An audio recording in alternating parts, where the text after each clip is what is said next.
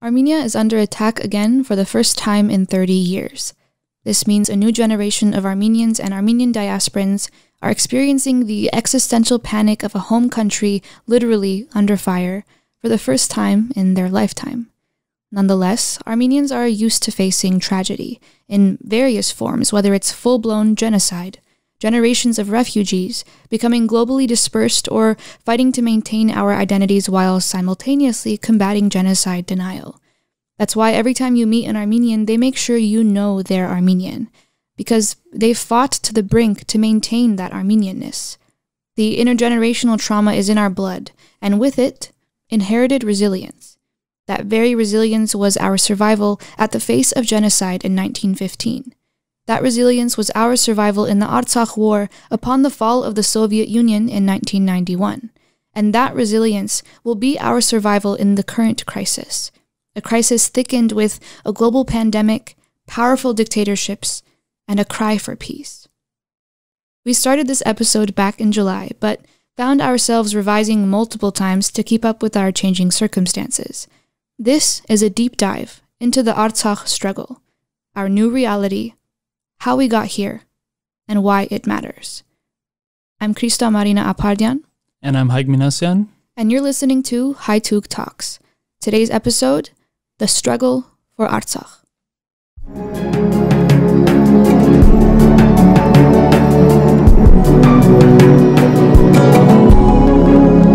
A couple of Armenians talking in the world.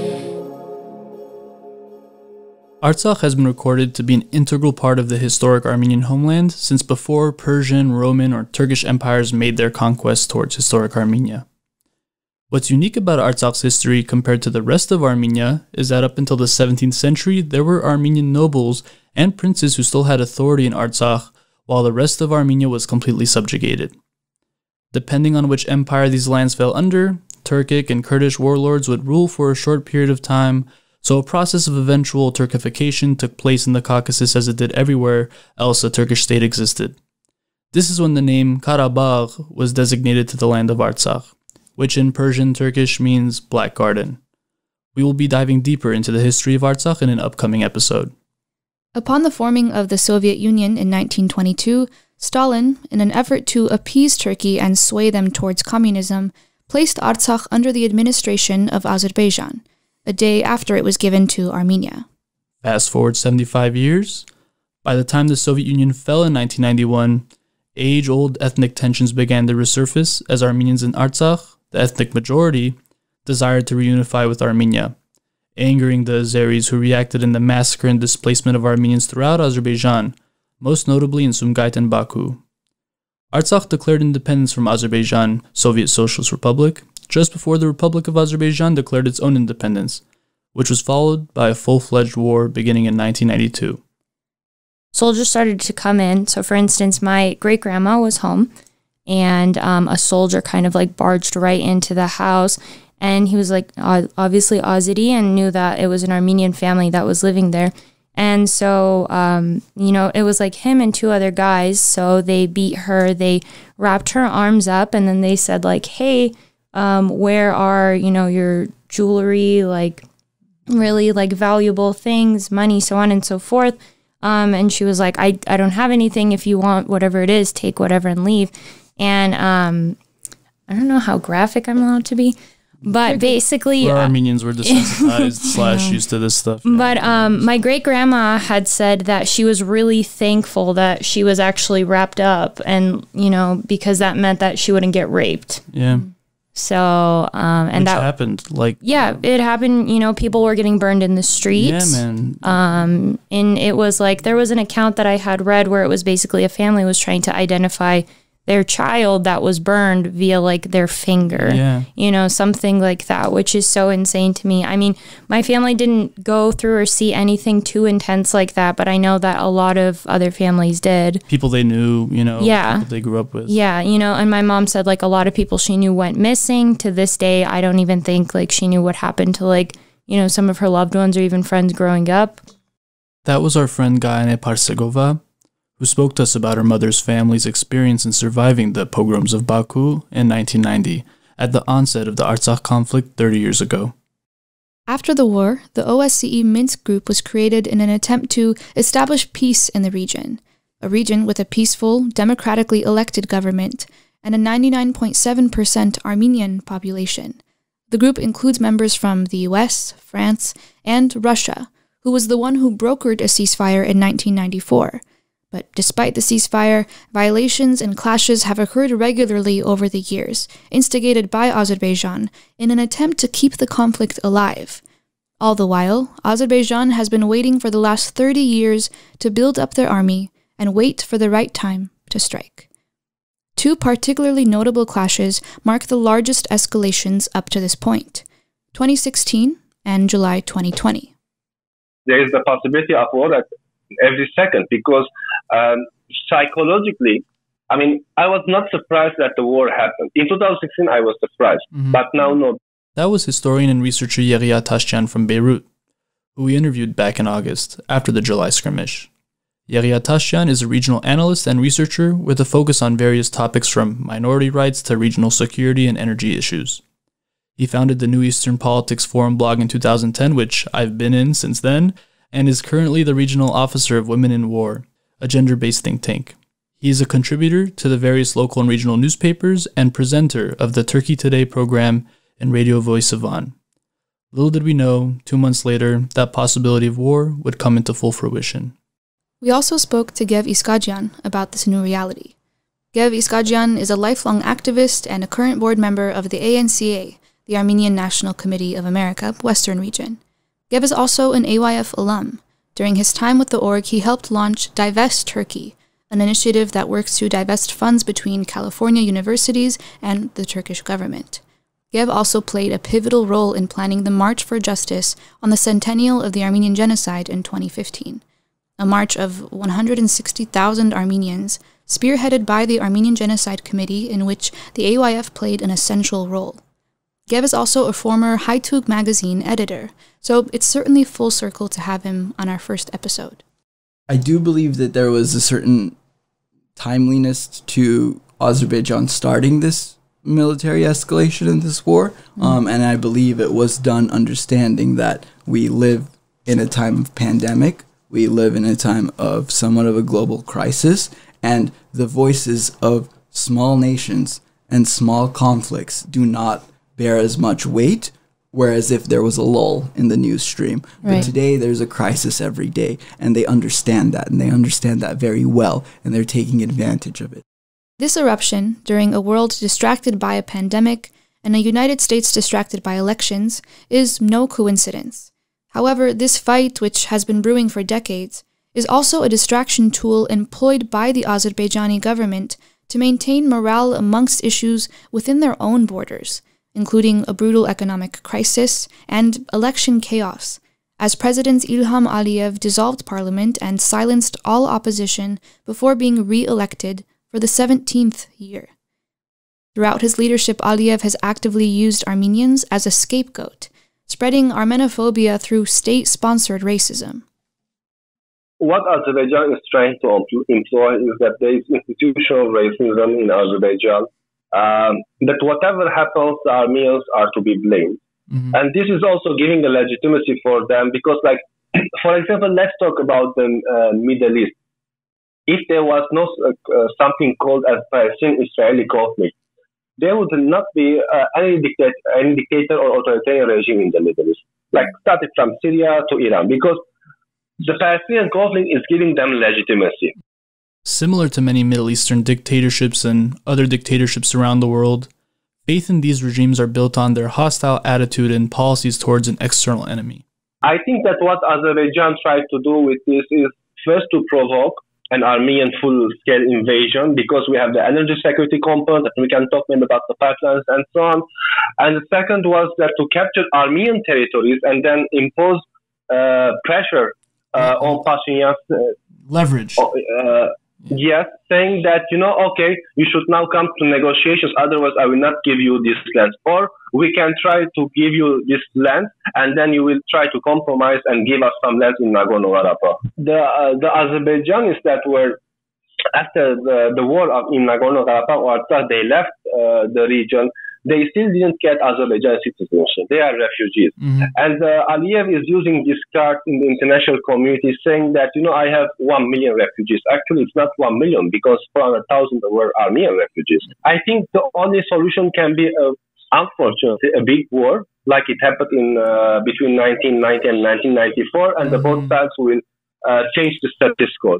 It's as though Yeghia predicted the situation we are now in. Though the outbreak of a full on attack by Azerbaijan was a surprise for many Armenians, one aspect of it was not. A lot of this racism against Armenians points back to Turkey, as Turkey's President Erdogan, who has also conveniently been in power for 17 years and actively denies the Armenian genocide, views Azerbaijan as a Turkic brother country, often describing the two as one nation with two states, two states that are collectively working towards something called pan Turkism. the ideology one is uh, of neo-ottoman expansion. It's an imperialistic mindset. It is to have as much power and as much dominance in the region as possible by any means at the cost of anything at the cost of our life human life and specifically armenian life. Um, Erdogan has recently begun to ramp up his need and his want to increase Turkey's leverage on the international playing field. Everywhere. That is specifically why Turkey has asked, Turkey has asked themselves, and Azerbaijan for them, have asked to be uh, one of the mediators in this process, along with France, US, and Russia. And it's insane to me to think about that the nation that tried to wipe the Armenian people off the earth is now being asked to have a role in shaping what would be the you know future of that nation. No, no imperial power has that ability, but to even have a seat at that table for those discussions, Turkey does not deserve.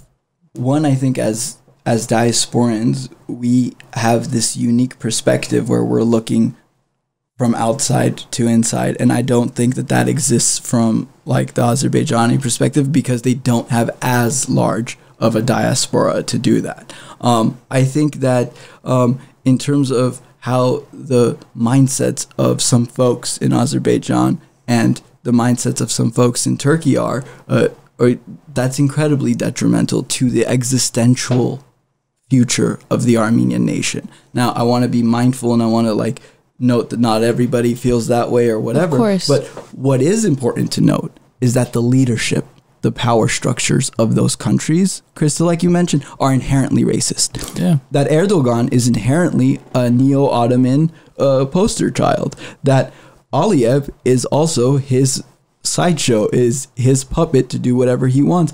And that pan Turkish neo Ottoman vision, there's one thing that's gotten in its way for the last hundred years, and it's the Armenian state.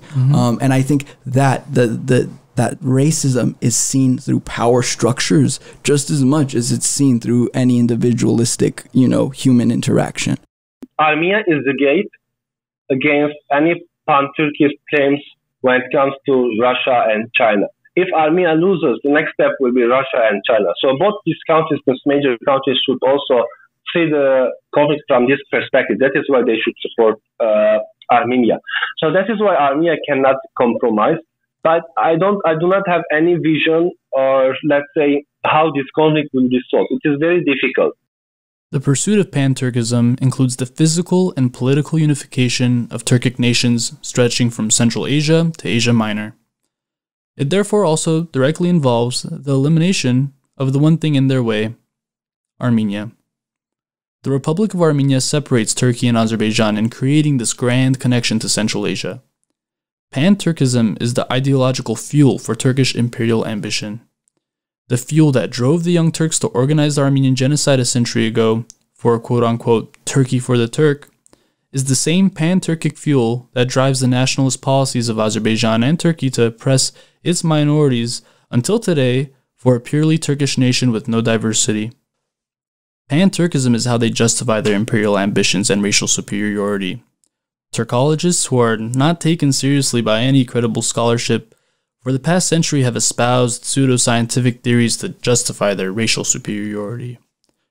Their outlandish claims include, for example, that the Hittites, Sumerians, Babylonians, ancient Egyptians are classified as being of Turkic origin, or two, that Turks were the first to migrate to America, or that the Indo European languages, the languages of Europe, Iran, India, including Armenian, derived from Proto Turkic. All of those pan Turkic falsehoods, which includes the denial of the Armenian genocide, are taught from elementary to university level schooling in countries like Turkey and Azerbaijan, where pan Turkism is most prevalent. As anthropologist Victor Shnirelman explains, this view involves, quote, an appropriation of the Aryan past and, above all, a claim to the desired status of indigenous people, an appropriation of the right to a myth that has to surpass all the political myths. He also notes that such a view opens the door to racialization and potential racism, which we are seeing the results of today. The goals of pan Turkism are just one reason why the Turkish and Azerbaijani governments are the aggressor in this conflict. So, why are we so keen on maintaining Artsakh? Because for Armenians, this is much bigger than just a dispute over land. It's much more existential. Losing Artsakh means being one step closer to losing Armenia, a reality we already faced once during the Armenian Genocide, during which Armenians were displaced from roughly 85% of our historic homeland. When you lose that much, you're bound to hold on tighter to what's left and their genocide wasn't finished. Their genocide was held off by our forces mm. at Sardarabad. Yeah. Their genocide was cut off by Armenians defending their homeland. That does not mean that they necessarily stopped their will to eradicate the Armenian people yeah. and to be an existential threat to the Armenian nation. And it's being held off now on the front lines of Artsakh. This conflict is not only about Artsakh, it is about the fate of Armenia's very existence. As Monte Melkonyan, a famous diasporan Armenian general from the First Artsakh War said, If we lose Karabakh, we will turn the final page of Armenian history. No Armenian wakes up excited to talk about how people that they know have died from this conflict. No Armenian wakes up excited to talk about uh, their cathedrals being bombed. No Armenian wakes up excited to talk about casual mass casualties against civilians. These are not things that we're marching into war for. These are things that we are making our voices heard about. Because of this sense of urgency and subsequent lack of news coverage, 10 members of the Armenian Youth Federation held a hunger strike in front of the Los Angeles Federal Building. From October 26th through November 1st, these 10 individuals starved themselves to draw attention to this Armenian crisis. The speakers are Chris Simonyan, Ashot Vaskanyan, and Shant Atamyan, respectively. This is the least I could be doing. Um, with all the soldiers, what they're doing, this is not even anything comparable to what they're doing. And the kids, the 10, 11 year olds that have to bury their mothers and fathers or be displaced from their homes and live in bomb shelters, not know what they're going to eat the next day, not know if they're going to survive. So, me doing a hunger strike is the least I could be doing, and I will definitely be trying to do more until the end. You can't choose what humanitarian right or what you think is right uh, to fight for. If you're a, if you're a humanitarian, you have to fight for everything that's humanitarian, not just the ones that affect you directly here on your land. Why do you care as an Armenian American about Artsakh? Uh, because it's my homeland. Um, uh, I was an immigrant from there, not by, not by my own choice, but by the will of my parents. Um, I feel like it's my right to not only fight for my country, but fight for what's right. Um, doesn't matter if it's my country or my neighbor's country. If it's if it's the right thing to do, you should always do it. It's it's painful. It hurts. I mean, we're I'm 18 years I'm 20 years old and I'm here doing a hunger strike and every, the entire community is coming out and they're telling us, "Oh, you guys are so brave. You're doing this. You're doing that. You guys are doing so much for this community."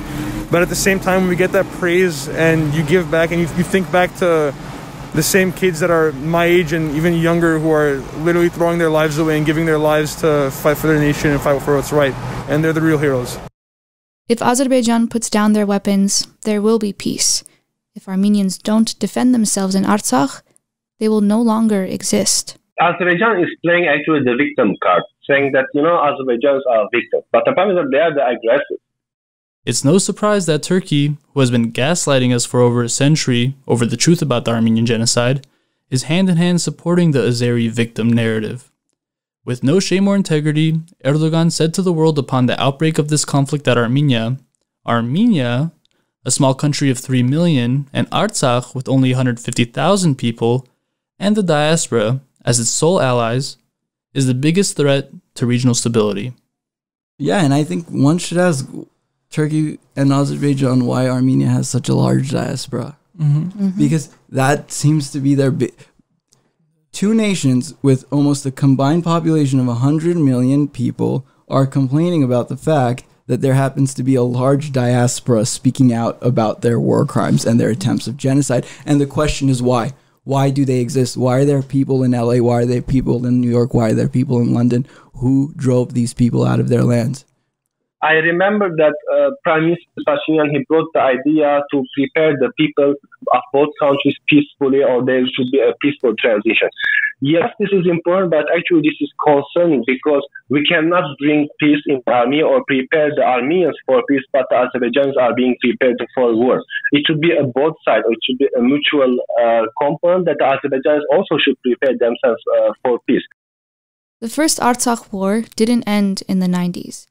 It's obvious that Armenia was never in a state of peace, and to pretend it was may have been one of our leadership's major failures in securing our homeland and the security of our people for peace in Armenia and Artsakh.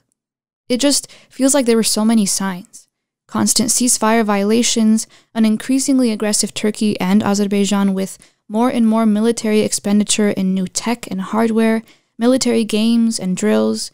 As Yeghia mentioned earlier, Aliyev has been attempting to provoke Armenia for decades. A world distracted prompted these two fragile dictatorships to focus in on a pan Turkic opportunity to solidify their regimes. We have always been at the whim of the empires who surround us, using our existential struggles for their grander geopolitical positioning and greed. Specifically, in the context of the Caucasus, for the past few centuries, it's always been between the Turks and the Russians, whether it was 150 years ago, World War I, or today. What's different, however, what's changed these past five or so years relative to the 25 years before it since the First Artsakh War, is none other than the expansionist militarism and unchecked aggression of Turkey's President Erdogan. Actually, the last couple of months, things have been changed, uh, not just in South Caucasus, but also in the whole region, the Middle East also, because these two regions are, I, I mean, I always say they are interconnected when it comes to geopolitics and energy security. Um, so I try to actually uh, draw zones uh, in the region. We have the Southern Caucasus zone, we have now the Levantine zone, Mm-hmm. uh, and the Eastern Mediterranean zone. So these three zones are interconnected because in these three zones, Turkey is trying to flex its muscles. Mm-hmm. Um, in the Eastern Mediterranean, we had the Libyan uh, case, and we had the struggle there between Russia, uh, Turkey, and its proxies. Mhm. And now we have also the Greek conflict uh, uh, in the Aegean Sea, whether if there will be a war or a clash between the Greeks and the Turks. Uh, we have the Levantian zone that is uh, northern Syria, especially in Idlib, and maybe we can add northern Lebanon because the Turkish influence is increased uh, there also. Yeah. And we have finally uh, the southern Caucasus uh, zone where there is a struggle between Armenia and Azerbaijan. And la- lately, Azerbaijan realized that it can no more trust the Russians because the Russians also they are arming Armenia and they are the allies. I mean, we have military alliance between Armenia and uh, Russia. So they are trying to put all their eggs in the Turkish uh, basket. I am not uh, surprised of it because the Turkish influence also uh, is increasing uh, in the region, and the balance of power has been shifted to some extent towards Turkey. So this also provoked a war because Azerbaijan uh, realized or thought that Turks will support them in in the future war. That is why this war that happened in July 12 was provoked also by the right of uh, Turkey in the region. Turkey is currently in conflict, militarily and politically, with almost 10 of its neighbors. From Iran's perspective, Iran al- always supports the international law Mhm. in the region, saying that it supports the territorial integrity of Azerbaijan, but also prefers negotiation over the conflict. This is like very normal. If I was Iran, I would do the same. Everyone says that. Uh, but yeah. Yes, but from Iran's perspective, um, the victory of Armenia is a victory for Iran because Iran sees things from its conflict with Israel. Uh, we know that Azerbaijan is a strategic partner for Israel, and the drones were Israeli-made drones, and there is also the presence of Israeli intelligence in Azerbaijan. So a victory of Azerbaijan means a victory for Israel in the region, and this is very concerning um, from the Iranian perspective because now Iran is surrounded by U.S. forces and also the sanctions and everything. So any defeat in Armenia means a defeat of its project in the uh, region. In addition to the pressure of having Israeli military equipment flying over the Iranian border, Iran also doesn't like that Turkey has brought thousands of Sunni jihadi mercenaries who were just fighting Iranian backed forces in Syria now to their northern border. However, even with all these potential threats to Iran's security, they remain neutral on paper since there are about 20 million ethnic Azeris living in northern Iran. They must be delicate as to what they do in order to avoid their own Azerbaijani uprising within their nation. While the conflict this fall raged on, Putin was keen to note that Russia values both of its Armenian and Azerbaijani citizens living in Russia as equals, reminding the rest of us that there are just as many Azeris as there are Armenians in Russia, and that Russia wants to continue to be a neutral mediator to the conflict from the Russian perspective, the Russians always they use uh, they try to use the stick and carrot strategy. Uh, the conflict is in interest because as long as there is a conflict uh, between Azerbaijan and Armenia, it means that these two states need uh, Russia to solve. It means more Russian presence in the region. But maybe, uh, let's say Azerbaijan is trying to decrease its dependence from Russia and tries to increase its dependence more from Turkey, and this is concerning. Mm-hmm. If Azerbaijan like buys Turkish drones or Turkish military um, technology and so on, and this is concerning because it means that Russia is uh, losing its leverage uh, on Azerbaijan. However, as the events unfolded, it became clear Russia was not willing to pick a side when it came to a full-on war over Artsakh. It is not in the interest of Russia to see a war because Russia is now involved in Belarus, it is involved in Syria, it is involved in even Libya. So it is not in the interest of Russia to open a new front in South Caucasus against Turkey. Um, mm-hmm. At the same time, there is the energy component because it is not in the interest of even Europe to see a war and to see the, these partners destroyed because it means they will invest there again uh, so they will put more money and also they will see to uh, diversify the energy routes from Caucasus. It means that Azerbaijan will lose leverage on uh, Europe. That is why it's risky, but still we don't know because we don't know that uh, the balance or the regional balance in which direction will go. If it will go to a Turkey, then it means a new war will happen. Mm-hmm. If there's a clash between the Turks and uh, Russians in Syria, definitely uh, Turkey will push Azerbaijan to open a new front uh, just to weaken the Russians in the Caucasus. Azerbaijan is a huge oil and natural gas exporter, with pipelines that head west supplying Turkey, Israel, and a number of other key nations that rely on their energy trade with Azerbaijan. There is also the energy security component here. I mean, because these pipelines were very, very close to the conflict area. And now, after April 2020, um, Azerbaijan replaced Russia in pumping oil and gas to Turkey. So this is concerning. It means that Russia is becoming out from the game. So Russia will do its best to balance the conflict uh, in the region. I think in, in, terms of energy trade, Europe is much more reliant on Azerbaijan for its energy than the US, but it is important to note what that energy money buys you and it buys you the ability to have PR firms. It buys you the ability to pay off, again, reports that you can cite and look up yourself. Uh, slush funds set aside by the Azeri government to pay off diplomats in Europe to be silent on issues like Artsakh. That is that is the disparity here that we need to note. That oil money, though it might not have a direct connection to the United States, it has a direct connection into the tangible results that are put out into the world on the people that are bought off on the media firms that are bought off, on the politicians that are bought off. And that's part of what we're fighting against.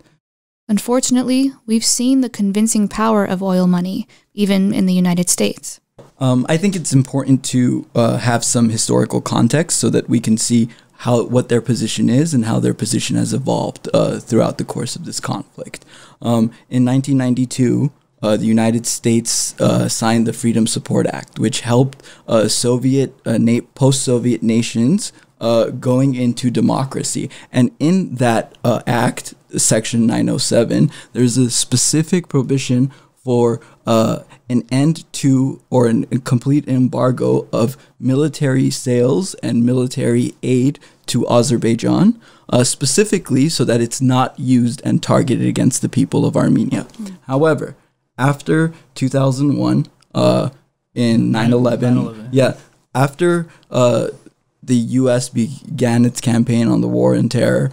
Um, in 2002, the United States made an amendment to that resolution that said that they can now give money and sup- military support to Azerbaijan if it's classified as a anti-terroristic measure. So throughout the years, we've seen uh, this um, aid that's supposed to be going to Azerbaijan to help with those quote unquote anti-terroristic terroristic measures. We've seen it balloon uh, to the point where up to last year, uh, there was over a hundred million in aid sent from the U.S. government to the government of Azerbaijan, and we're not talking about a hundred million in humanitarian aid, developmental aid. We're talking about a hundred million earmarked for military aid specifically. Um, it there's lots of statements that have come out from the United States, from Pompeo, from the Trump administration, but none of them speak louder than the money that is going mm. to fund the Azeri dictatorial regime that is then turning that money to attack and bomb Armenians, to commit war crimes in Artsakh. Along with an increase in military aid to Azerbaijan, we've seen a substantial decrease in both military and nation building or humanitarian aid to Armenia over the last four years. that's the money that's allocated towards Armenia. However, the United States legislative branch, the, the Congress, allocates money specifically for projects like the Halo Trust that are mm-hmm. supposed to help demine a lot of these areas that were, you know, affected during the war. And s- like even till today, there's kids that running around run on post-Soviet from 1991, 1990, these mines that haven't exploded, and they there's loss of life, there's injury, whatever Right. even that aid this year was cut by the United States. Why would they cut? That's insane. on the pretense, per the State Department, for preparing the populations for peace. By keeping So- bombs on the ground. So yeah, so we're seeing that there's this moral disparity in what's being said and what's happening. The United States wants to prepare populations for peace as it sends a hundred million dollars in military aid to Azerbaijan, and it wants to prepare populations for peace as it pulls m- vital money that and resources that go to demining. We're not talking about military aid. We're talking about demining Yeah. so kids running around in the homeland in their own homeland can't die from mines. Like this isn't. There's this very very stark disparity here, um, and I think that's what it, that's why it matters for the United States because it's a testament to who we are as a nation. Artsakh is already a self determined state with a functioning government. That's important to note because, although not yet internationally recognized as such, this point cannot be overlooked when discussing Artsakh.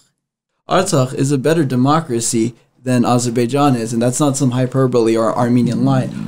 Artsakh elections are to comparatively to elections in Azerbaijan much more free and much more open. Mm-hmm. These are and Artsakh's government is self-functioning and self-sustaining, all of which are pretenses for by law, international law, for self determination, to mm-hmm. have a functioning government, to have a self determined state. And as Americans, why that's important to us is because we, on the international stage, talk about our ability to intervene and to make statements on all these issues because we are the champions of democracy, right? We are the ones that bring, like, uh, talk about how all of these countries in the Middle East need to be more democratic, how we need to pursue the, the ideals of democracy around the world now we have a people that have personified it. We have a people that have asked to be self determined. We have a people that are exemplifying that today. And our inability to speak out and speak up for those people says so much about our values,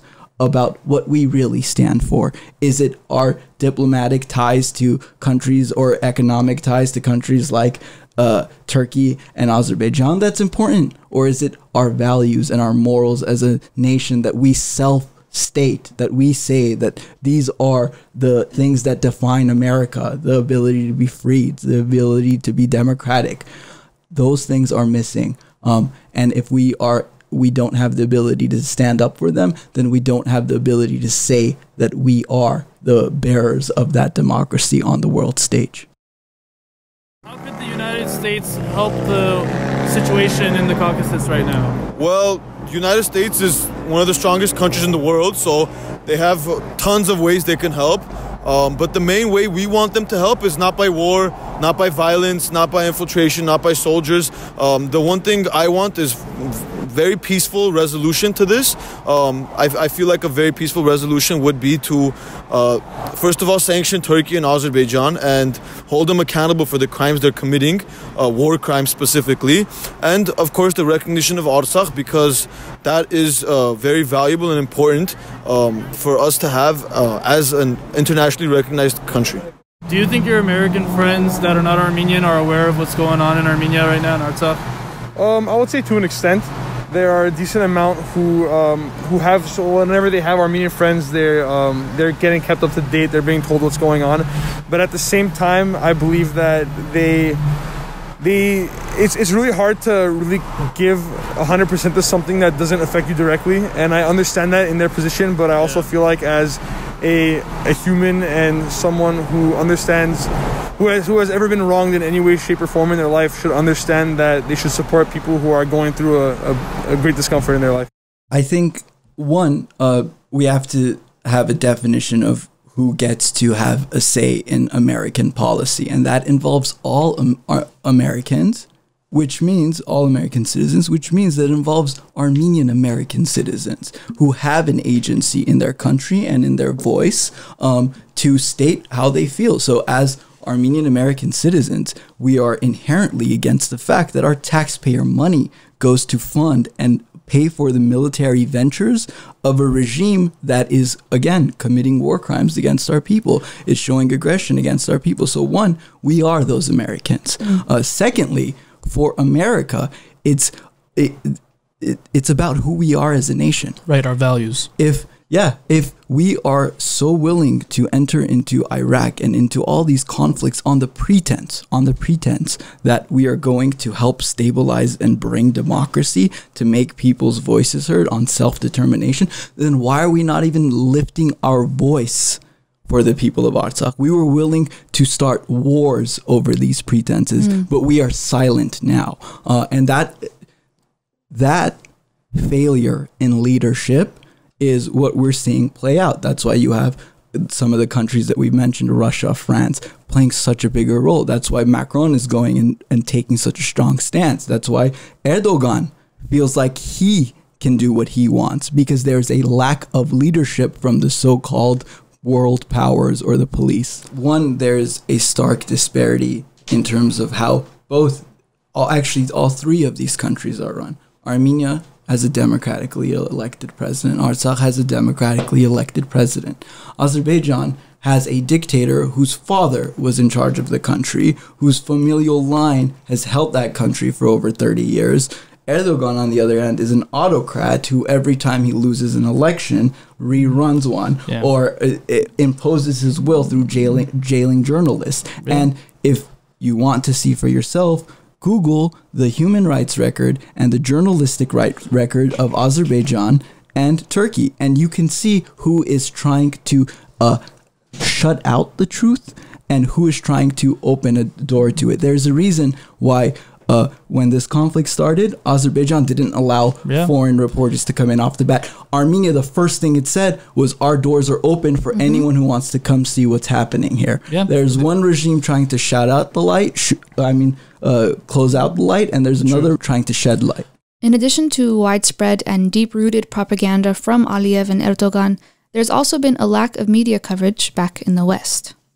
Like looking back on when this conflict started, the, the military aggression from a couple of weeks ago. The first thing that the government of Azerbaijan did was shut down internet servers so that Mm. people could not communicate effectively. One of the first things the Armenian government did was tell people to go on social media and speak out about this. Right. Um, and I don't think anyone's word should be taken over anybody else's. I think the truth should speak above everything, and everybody should have the right and the ability to see that truth in itself. And I think Armenia exemplifies that by saying we are welcoming and allowing journalists in, and Azerbaijan exemplifies the denial of truth, the shutting out of truth by not letting foreign press in, by having like media out, by sharing misinformation, by sh- sharing propaganda.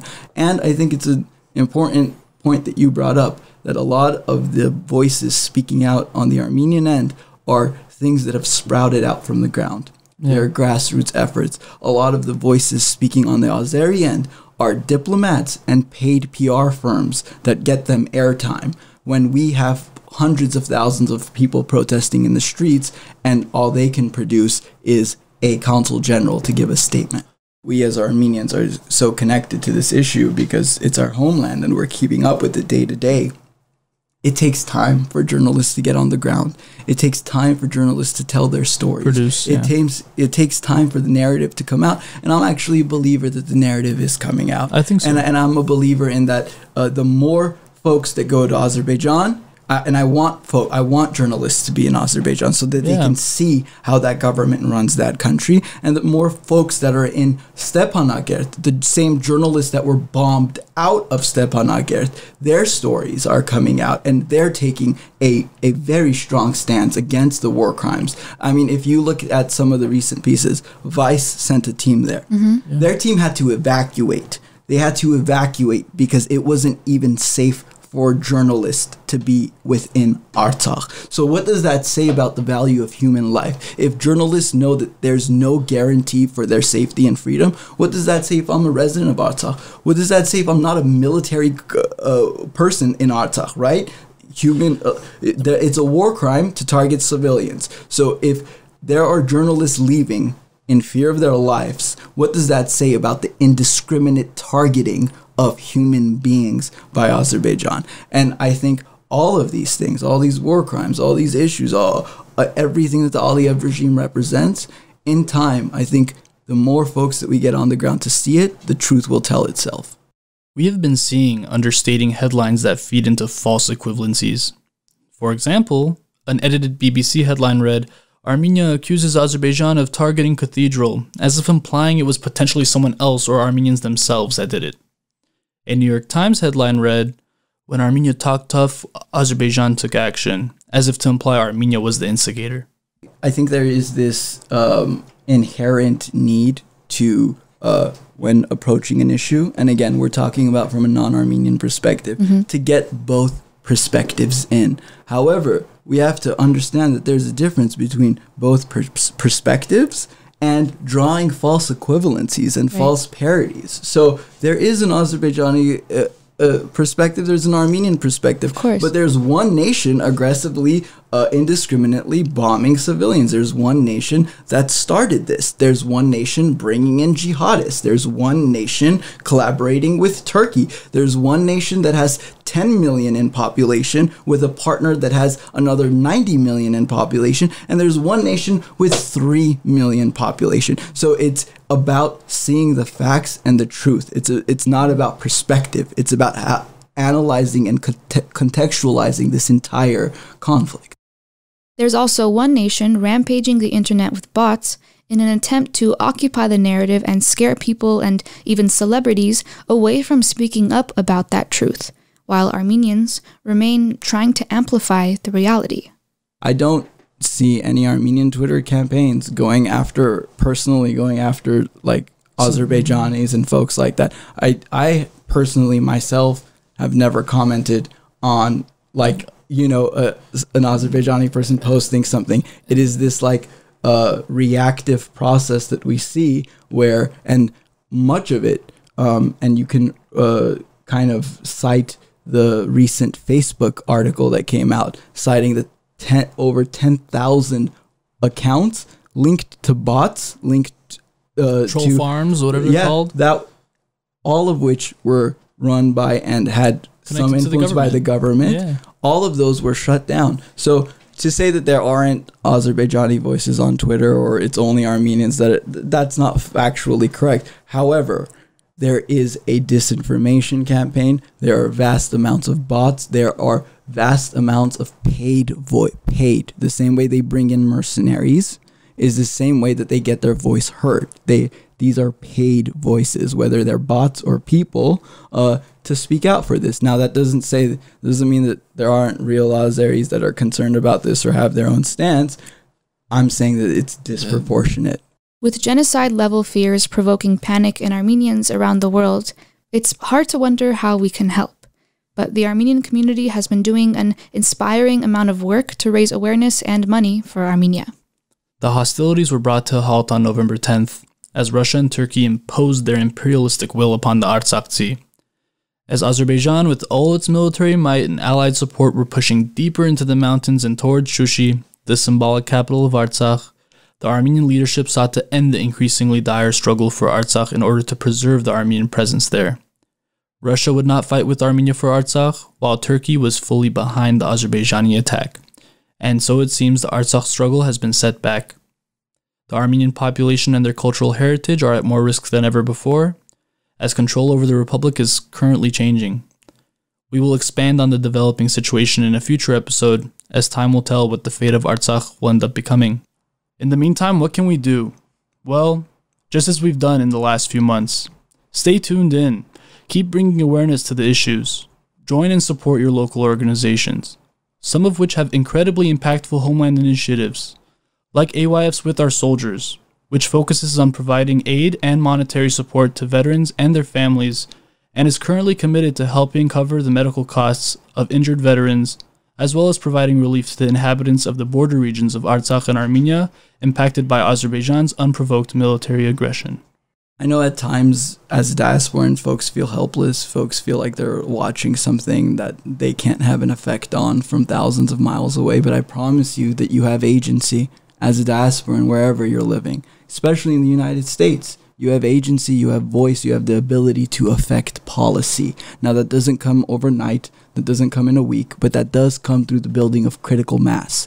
Um, and that's what we need to do as Armenians. There are organizations that work on these things 24 7. Go to the ANCA website, sign up to be a rapid responder, put your emails in there so that once there are policy changes that are being called upon, once there are uh, movements that we want to make on a legislative level, that your voice is part of that wider movement, that your voice is being heard. And on top of that, st- don't stop speaking out.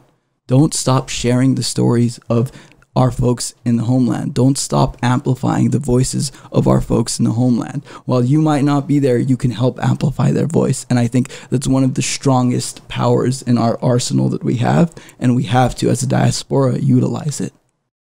The struggle for Artsakh has changed over the past few months. A hard fought struggle to exist, or Goyamard in Armenian, against an oil rich dictatorship supplied and supported by NATO's second largest military, Turkey, has placed the future of Artsakh's independence at risk of existing. However, the fight for Artsakh's justice has entered a new phase. Their fight for self determination will never end as long as the Armenian in Artsakh demands justice, equality, and the right to live with dignity on their homeland. Never stop bringing awareness. Never stop demanding justice, doing everything you can to develop and improve the lives of the people in Artsakh who the world has forsaken. If we don't talk about it, if we don't work for it, no one else will.